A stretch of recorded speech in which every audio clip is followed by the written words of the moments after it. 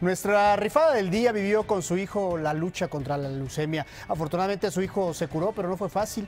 Esto la motivó a fundar la Casa de la Amistad para Niños con Cáncer, que lleva 27 años apoyando a pequeños y a sus familias de todo México que no tienen los recursos para enfrentar esta enfermedad. Amalia García es nuestra rifada del día.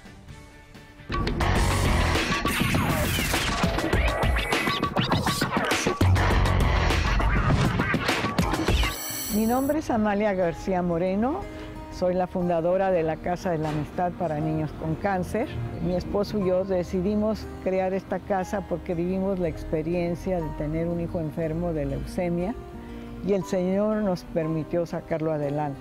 El ver al hijo enfermo es una combinación de los mismos sentimientos de uno como padre y a la vez darle toda esa fuerza al niño que está luchando.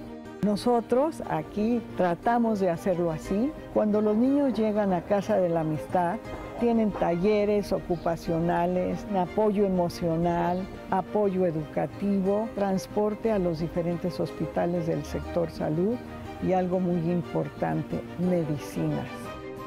Han pasado cerca de ya de 10 mil niños aquí a Casa de la Amistad. Son lo que nos ayuda a seguir luchando porque estos niños que salen ya recuperados, pues es el futuro de nuestro México. Son niños luchadores que verdaderamente han pasado por una trayectoria muy fuerte y que tienen deseos de mostrar al mundo que pueden salir adelante de cualquier situación que se presente.